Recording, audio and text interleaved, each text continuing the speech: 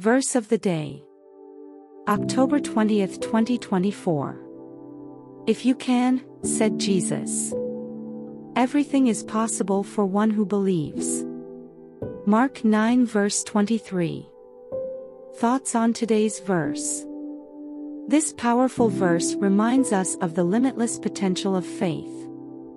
Jesus challenges doubt by affirming that belief opens the door to what seems impossible.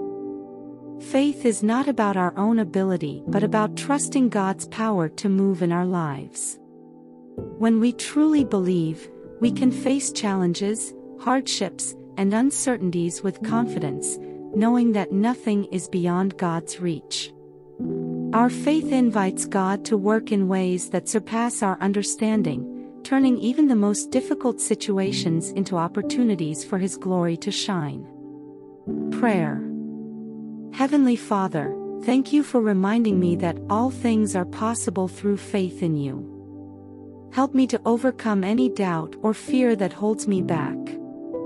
Strengthen my belief in your power and goodness, especially when I face challenges.